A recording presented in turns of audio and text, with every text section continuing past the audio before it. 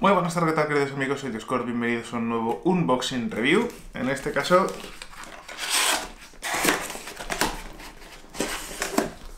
En este caso traemos la nueva Pocket Go con su funda.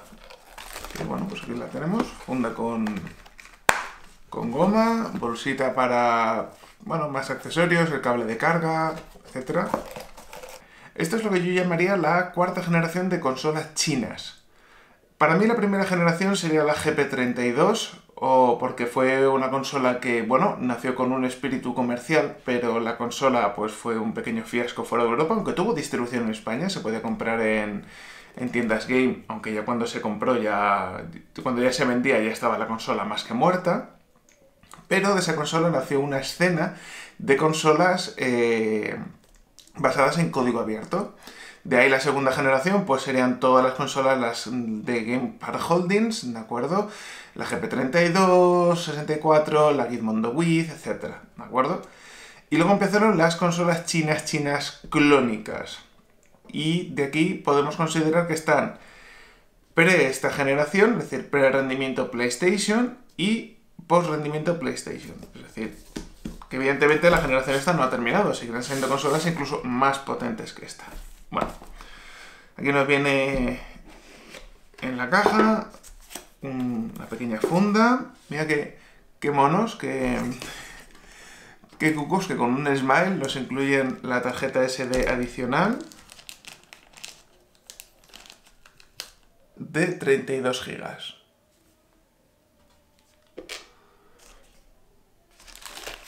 Vale. Bueno, para su vista, bla bla bla. Guía rápida del dispositivo, introducción. Vale. Nos viene aquí una goma, una especie de tetón de silicona para cubrir el joystick. ¿De acuerdo? Porque por lo visto el tacto es bastante mierder.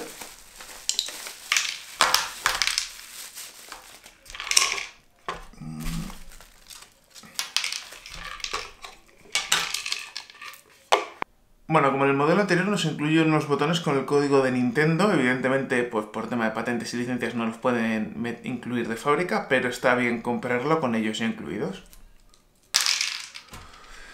Nos viene un cable de carga bastante normalito, pero correcto, de USB-A a USB tipo C, ya que la consola se carga con esta conexión. Y nos viene incluido un pequeño lector de tarjetas micro SD, muy sencillo. Bueno, pues aquí nos viene la consola, curiosamente, eh, nos viene ya con los botones colocados. Con lo cual, o son códigos de colores distintos, no, son los mismos colores, los mismos plásticos, es decir, con lo cual, o dos cosas. O en vez de venderme los colores originales, se han equivocado y me han vuelto a dar los de código de colores. Bien, a mí me gusta más el código de colores de Nintendo. Y la vamos a dejar Vale, aquí tenemos, pues bueno, eh, principales características. Una de las grandes ventajas que tiene esta consola es que mejora enormemente la autonomía. Viene con una batería de un eh, teléfono de Xiaomi. No sé si se puede... Ah, ya no viene con el logotipo. Bueno, es la BM20, es un tipo de batería genérica que utilizan los Note 1 de Xiaomi, así que bastante interesante. Podemos apreciar en la parte trasera las dos entradas de micro SD, el flex para el monitor y el pin de carga de, de batería. Yo que he tenido el modelo anterior puedo decir que la tapa, aunque no viene con tornillo de seguridad, cosa que el anterior sí que venía, eh, me da mucha más seguridad. Los plásticos han mejorado con respecto a la versión anterior un porrón, ¿de acuerdo? Vamos a hacer este momento pornográfico maravilloso. Botón de encendido, conexión USB-C, auriculares, subir o bajar volumen. Los gatillos son pulsadores analógicos bastante normales. Y en la parte de abajo podemos ver el botón de reset y la entrada para las dos tarjetas.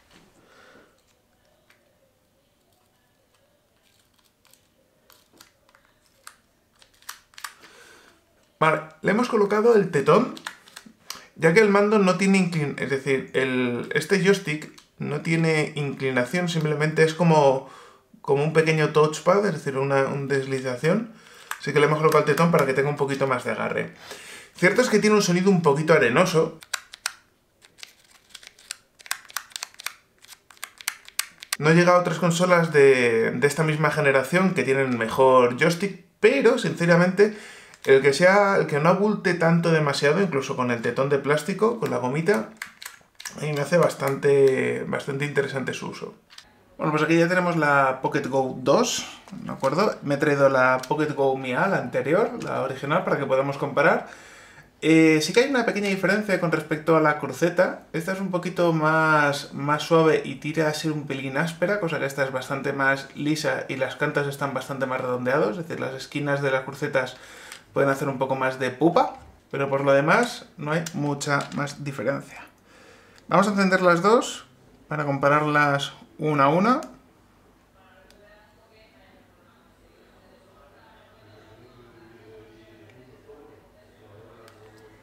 Leche.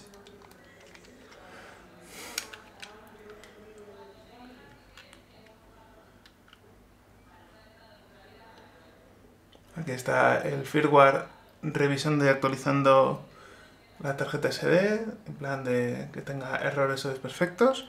Como viene con la misma interface de Dingux, ¿de acuerdo? Este no es el firmware oficial de la consola, este sí, y está bastante más actualizado. Y por ejemplo, eh,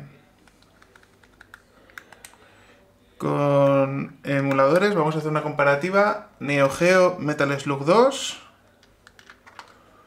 Y en esta lo mismo, vamos a... Eh, ¿Dónde está Neo Geo? Ahí.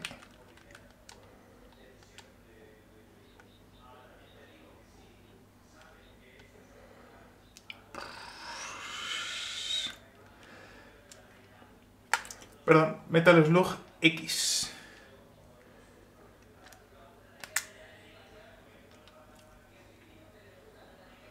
Vemos cómo tarda mucho menos en cargar la Pocket Go.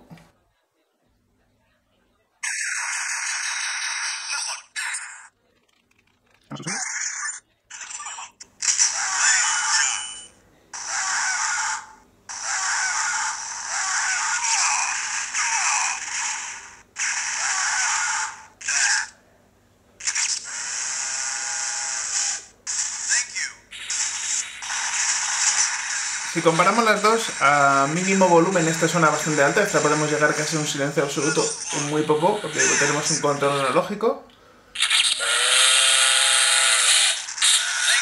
Pero a máximo volumen,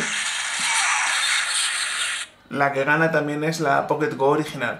Pero fijaros lo bien que funcionan los juegos, simplemente la gran diferencia de problemas, pese a que utilizan la misma ROM, es que este le tarda muchísimo en cargar este juego, es decir, el procesador y, la RAM interna se notan muchísimo. Pero lo que es a nivel de jugabilidad...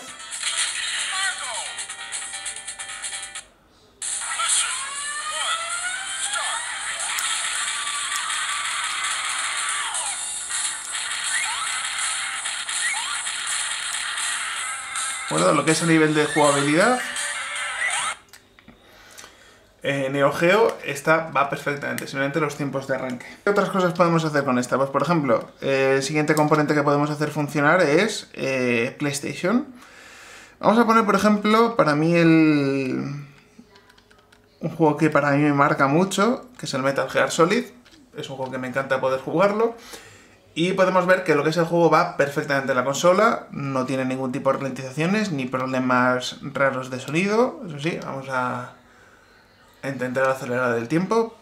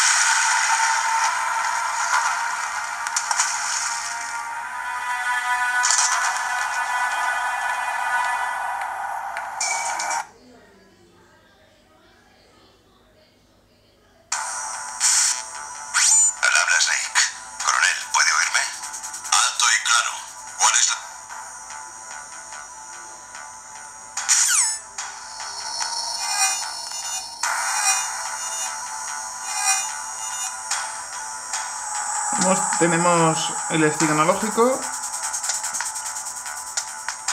funcionando a la vez que la propia cruceta.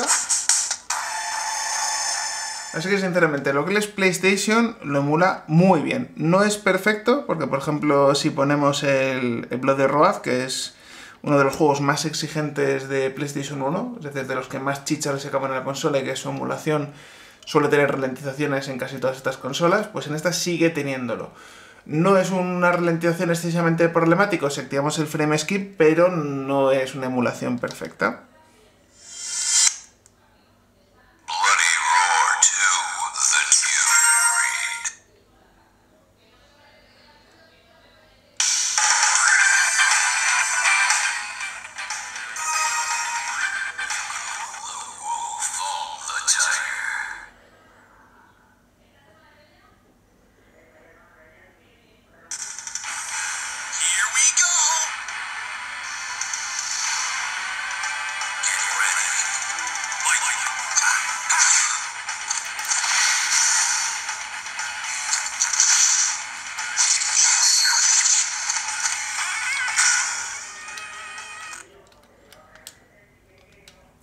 Por ejemplo, dentro del catálogo de PlayStation, por ejemplo, si optamos por un Tekken 3,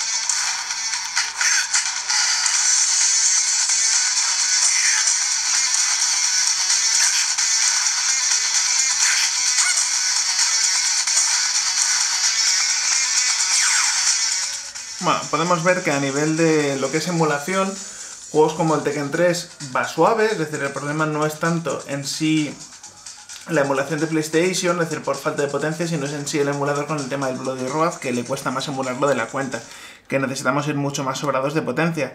Pero como digo, PlayStation es, es, lo máximo que podemos optar. Por ejemplo, eh, Super Nintendo... Eh, Imagino que si optamos por el...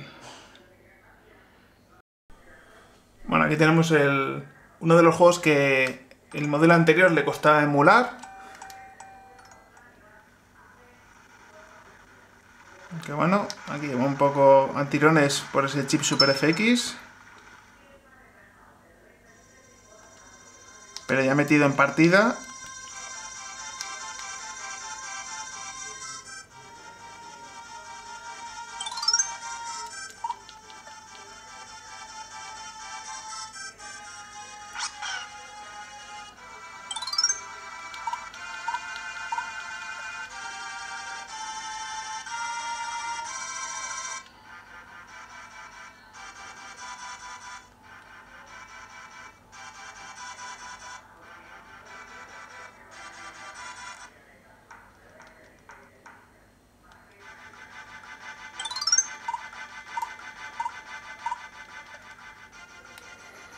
Como vemos la emulación ya metidos en partida, pues es perfectamente funcional, va relativamente suave, no es perfectísimo en plan de super 60 fotogramas por segundo, pero posiblemente es la misma que teníamos cuando jugamos en la consola.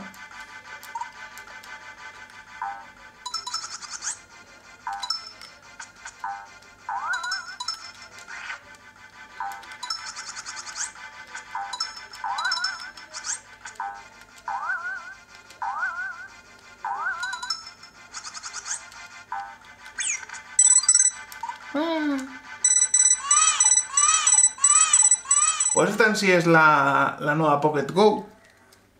Vale, en resumen y comparativa, súper rápido ya para finalizar el vídeo. Entre la Pocket Go 2 o la Pocket Go 1, ¿con cuál te quedas? Pues bueno, depende para qué. A mí, por ejemplo, la Pocket Go 1, si lo máximo que voy a jugar es Neo Geo y algún juego de Game Boy Advance, me parece perfecta, ¿de acuerdo? No, no le puedo poner ningún pego, ningún plus. Me parece perfecta. Cierto es que a un juego Super Nintendo va muy mal, como el Yoshi's Island, cosa que en esta es perfectamente jugable. Pero esta, vamos a reconocerlo, su pantalla bastante más grande hace que no te tengas que dejar los ojos. Con respecto a su potencia extra, permite que incluso podamos añadir un catálogo enorme de PlayStation, que excluyendo Bloody Road y algún que otro juego que tenga problemas de emulación, no vamos a tener ningún problema.